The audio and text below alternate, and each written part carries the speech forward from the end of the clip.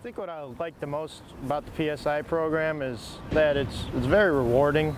You have a good time doing it. You're working with a great group of guys and it's just a great environment to be in. You're outside all day and you get to enjoy the sun, not stuck in the office or anything like that.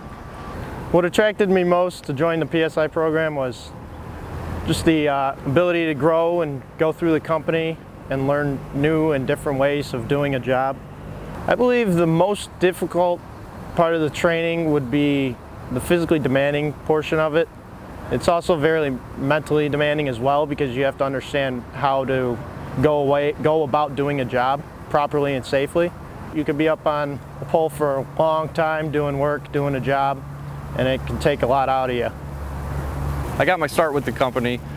Uh, started as a meter reader back in 2007. From there I went through the warehouse and uh, saw the opportunity to join the PSI program. What I like about the PSI program is it's very challenging. You're constantly learning something new every day. Um, and the best part is you're working outdoors. One tip I would give the new students is maybe start doing some kind of weight training and get yourself in good physical shape.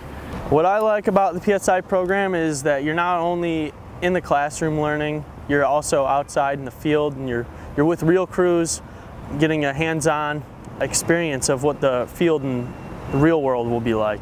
You're always in a new place every day on a crew and you'll forever be financially stable and you're learning a, a trade that not many are able to do.